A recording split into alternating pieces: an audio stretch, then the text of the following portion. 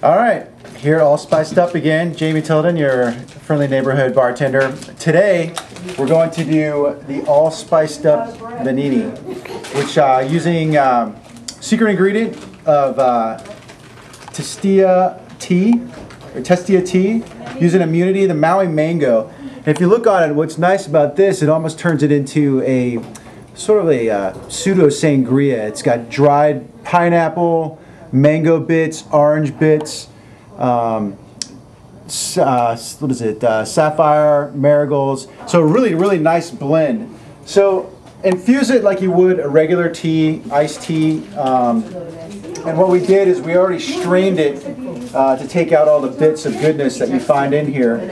And then with the Bellini, all it is really, it's an Italian drink and simply champagne and peach nectar. So two full bottles, extra dry again.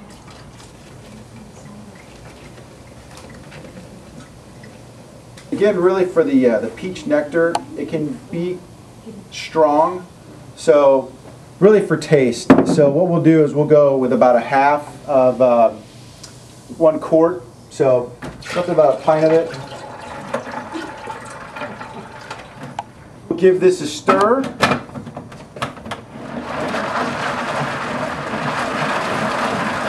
Uh, so with anything um, this color, you know, add color to it. You know, it even comes down to the, the color of the Dixie glasses. But garnish it with strawberry. Uh, you can garnish it with an orange, anything. So all spiced up Bellini. Cheers. Oh yeah, good stuff.